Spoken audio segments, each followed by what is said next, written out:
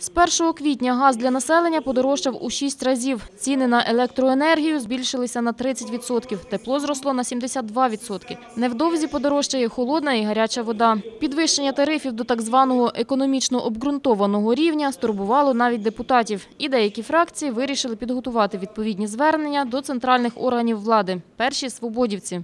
Більшість економічного ефекту від підвищення тарифів, тарифів буде витрачено на в рази збільшення обсяг дотацій населенню та покриття дефіциту Нафтогаз, е, НАК «Нафтогаз України». Тоді як кошти абсолютно не витрачаються на покращення стану в е, в цій галузі.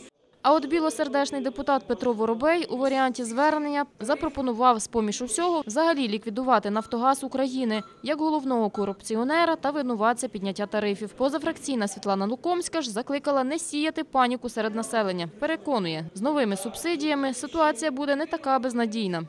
Я абсолютно свідомо і відповідально вам говорю, що сьогодні постанова Кабінету міністрів України номер 106 дійсно захищає права людей, які сьогодні є середнього і низького рівня. Населення, яке проживає е, на пенсію і на зарплату в незначній площаді житла, дійсно гарантовано захист держави. Однак не всі її підтримали. Вважають, комплексно це злободенне питання, субсидії не вирішать. Я розумію, що таке субсидії, і ми всі це розуміємо. Але повірте мені, що сьогодні не всі субсидії получать.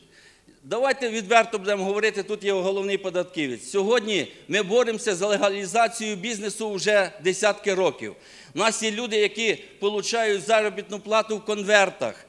І сьогодні прийти і подати її документи цим людям, Світлана Іванівна, ну це ж нереально. Врешті депутати вирішили об'єднати подані звернення в одне спільне. Вважаємо, що різке підняття комунальних тарифів без збільшення соціальних витрат населення є неприйнятним. Разом з тим підтримуємо ідею створення у парламенті тимчасової слідчої комісії, яка професійно та неупереджено б питання об'єктивності підвищення тарифів на комунальні послуги, а не до моменту надання комісії своїх висновків. Пропонуємо відтермінувати рішення про підвищення вартості послуг. Такий варіант звернення задовольнив більшість обранців, але за умови, що текст відредагують і лише потім надішлють до президента та уряду України. Якщо на ситуацію не вплинуть, то хоч зайвий раз нагадають про себе.